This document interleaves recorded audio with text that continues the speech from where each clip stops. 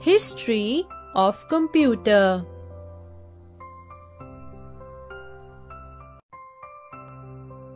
You will learn Student will be able to Associate story of number system with computer. Explain the abacus as the first calculating device. Explain how Blaise Pascal invented adding machine in 1642. Describe how Charles Babbage designed difference engine and analytical engine. Relate why Charles Babbage is called the father of computer science. Explain that the first electronic computer, ENIAC, invented by John Eckert and J. W. Mauchly in 1946. Hi children, let's talk about the history of the computer. Do you know who invented the computer? The computer was not invented by a single man. There were many people who worked for many years and finally gave us computer. Let me tell you a story.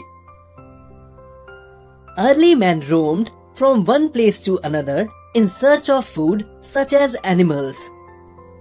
Later, he grew crops and started domesticating cattle such as sheep, cows, and goats.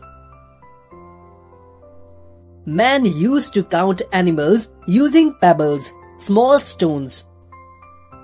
Every day, he counted the cattle using the pebbles to ensure that the number of cattle was equal to the number of pebbles. Later, he used his fingers for counting. He devised a number system having 10 digits using his 10 fingers. These digits are 0, 1, 2, 3, 4, 5, 6, 7, 8, 9. The discovery of numbers led to the development of all kinds of calculating devices as man wanted faster means of calculations. So some people made a device to help in counting. This device was called abacus. It is still in use in China, Japan and Russia. The abacus is a simple and an effective manual calculating device. The balls that you see on the rods are called beads. Abacus was the first calculating device. Then, in 1642, a Frenchman, Blaise Pascal, invented a machine that could add numbers quickly. Was a simple calculator used for addition and subtraction. It was called an adding machine or Pascaline. He used the wheels having 10 teeth each in his adding machine. Electricity was not required to operate it, as it was a mechanical device like your bicycle or sewing machine.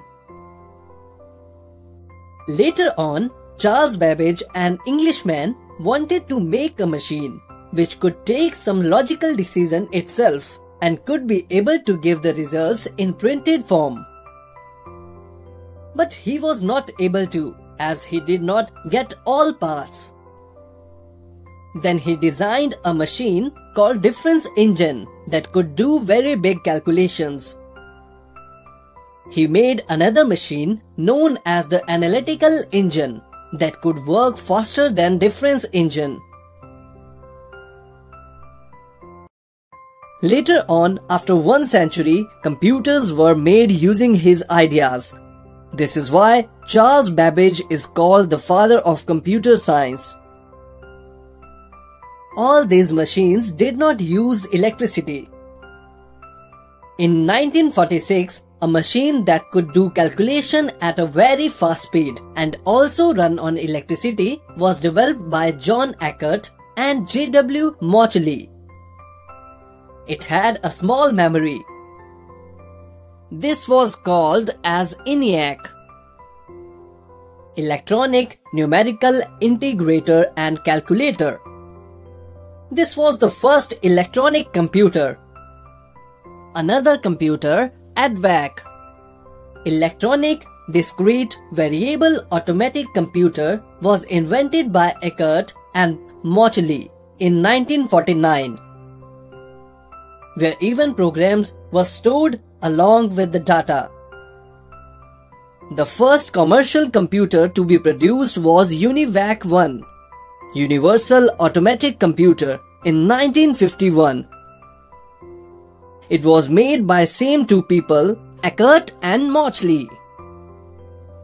All these computers were very big. They could not even fit in a room. But today we have computers that are very small. Good habits and practices. Good habits. Sit on a proper chair when you are working on a computer.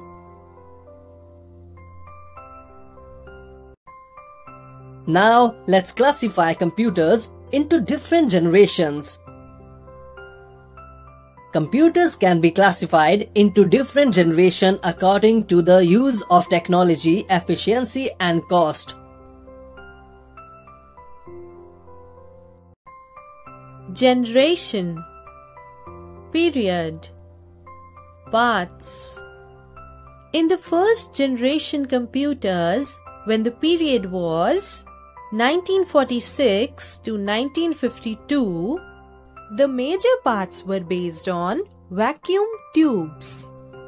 In the second generation computers, the period was 1952 to 1964. The major parts were based on transistors.